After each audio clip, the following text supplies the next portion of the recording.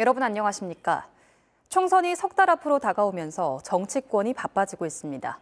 국민의힘 강원도당이 원주에서 신년 인사회를 갖고 총선 승리를 다짐했는데요.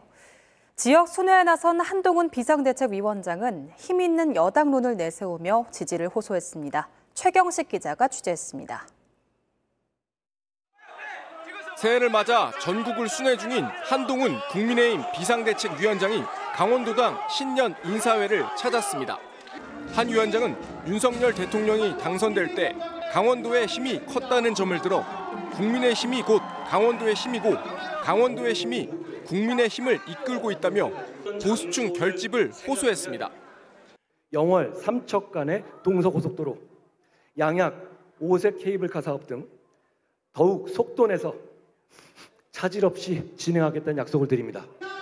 또 지역 간 격차를 줄이고 강원도의 발전을 이끌 수 있는 정당은 힘 있는 여당뿐이라고 강조했습니다. 우리가 강원도에 드리는 약속은 곧 실천입니다. 반대로 민주당은 다수당이지만 약속은 약속일 뿐입니다. 한 위원장은 부모 모두 춘천에서 고등학교를 졸업하고 자신도 강릉에서 3년간 군 생활을 했다며 강원도에 대한 애정도 과시했습니다. 현재 도내 국회의원 8석 가운데 6석을 차지한 국민의힘의 총선 목표는 8석 모두 석권입니다. 강원도 8성 모두 우리의 국민의힘이 싹쓸이해서 대한민국의 앞길을 열어가는 중추적인 역할을 우리가 할 수 있는 그런 바람을 갖고 있습니다.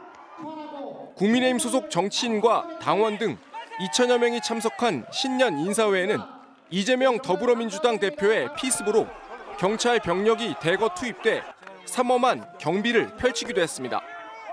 한동훈 비대위원장을 필두로 민심 공략에 나선 국민의힘이 총선 승리를 위한 보수층 결집에 속도를 내고 있습니다.